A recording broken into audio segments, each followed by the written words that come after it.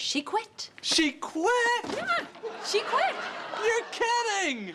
No, That's unbelievable! unbelievable. I mean, it, it, it's, it's fantastic. I mean, it's amazing. Yeah. I mean, that the day that I call and complain about her on the phone, that that's the day she chooses to quit? Yes, it is. I mean, that is an amazing coincidence. Yeah, that is exactly what it is. It is an amazing coincidence. Oh, unbelievable. So, so what happened to her? What happened? Well, uh, you know, um, I told her uh, very politely, you know, as, as nicely as I could. Oh, you. Oh, you you told her. Yeah.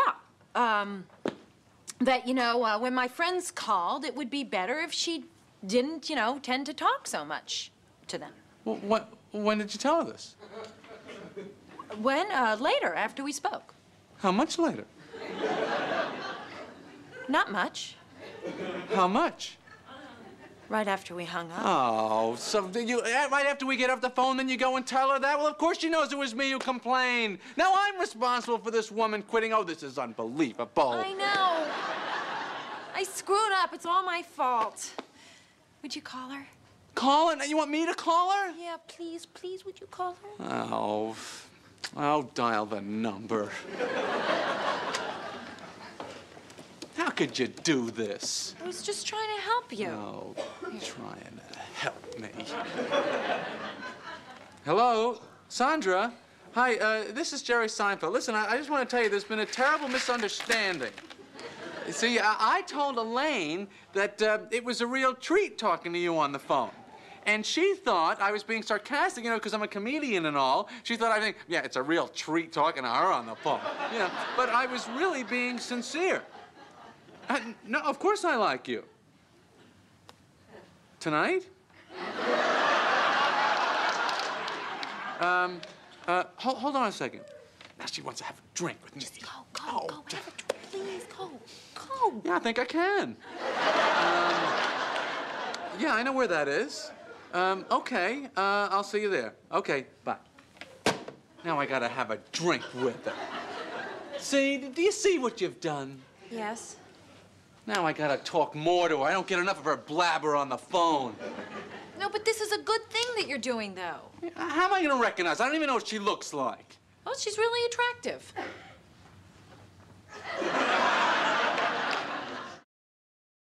Oh, hi, uh, Mr. Ross. Oh, Daddy, this is Jerry. Hi. Uh, once again, Mr. Ross, I'm, I'm really sorry about what happened to the cabin, but don't you worry. You can always build another one. No, I won't. No, you won't. No, you like that one. Why would you build another one? A lot of work to build a cabin from the ground up. Yes, and it's so expensive. Well, you got all the wood. Absolutely. But you know, you could always sell the property. I'm not selling. No, that would be silly. It's better to hold on to that. The value goes up. Real estate, there's a good investment. Henry, you want a sandwich? No. Well, we really should Yeah, be running, I don't think. Uh, we got a schedule, so this was fun, and uh, we'll see. Oh, excuse me. Hello, Raymond. Uh, yes, the man from the insurance company dropped this off this morning. He said it was the only thing left from the remains of the fire.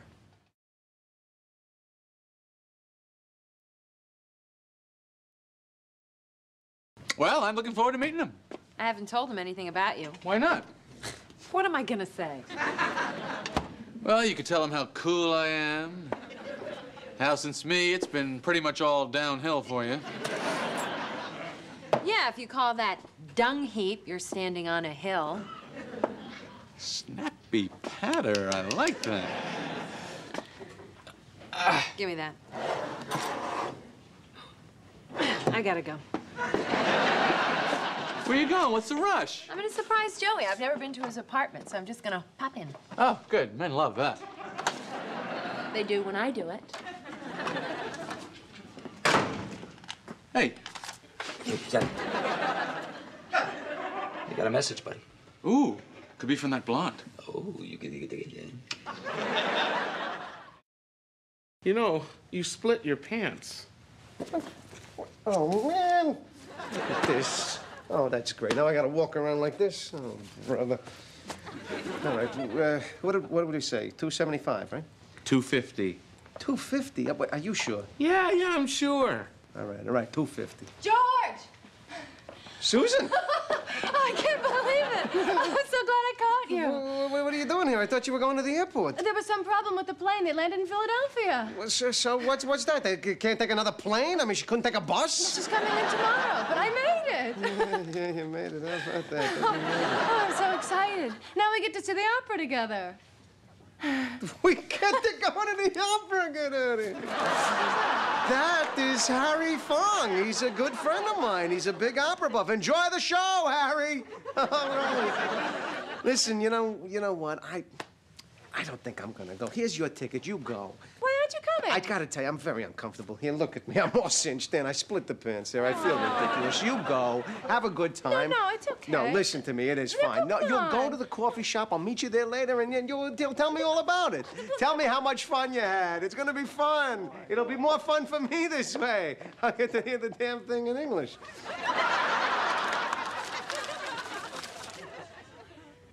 oh, Harry! Finally,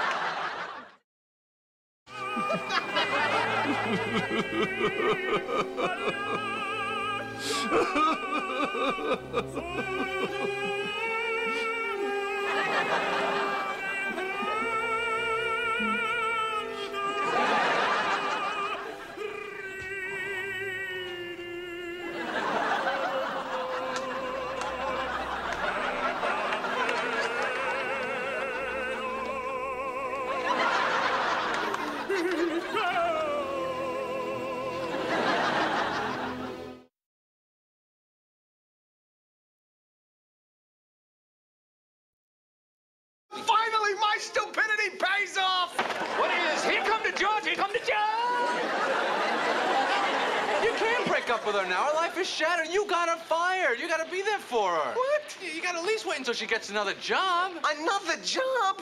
couple of interviews. Oh, this is unbelievable! I'm stuck! Every time I think I'm out, they pull me back in. Hey, come on, man. Hold it down. I'm trying to do this. All right, that's it. That's enough. No, Jerry, I can't hear what they're saying. Well, I can't. it. What are you doing? Oh, you're giving me the TV. Jerry, I don't want the TV. I don't want the TV, Jerry. Are you gonna give me the VCR too?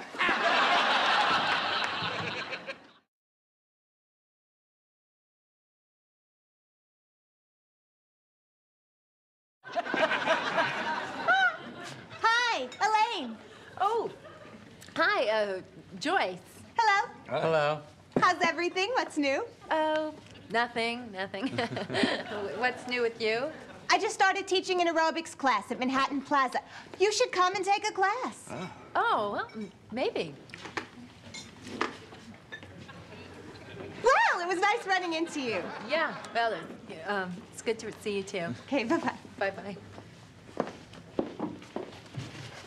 Should I have asked her to sit down? Yes, it was awkward. Yeah, but we're not really friends, and then we wouldn't have been able to talk. Look at her sitting at the counter over there all by herself, thinking, "What's what's matter with me? Why can't anybody sit next to me?" You know, I'm, I don't understand you. I'm surprised. Hey, what's the matter?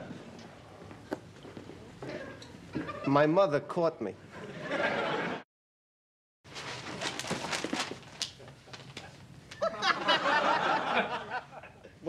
Your neighbor? You got me food? Yeah, I brought you a sandwich. Oh, you're such a sweet boy. What happened to her? Oh, they moved her next door. Next door. Yeah, I complain because she walks around here half naked all the time. You what? Look, who needs to see that? Huh? They didn't give you a pickle? I. No, no, they have to give you a pickle. That's not right, Ma. I'm gonna get you a pickle. I'll be right back. Pickle!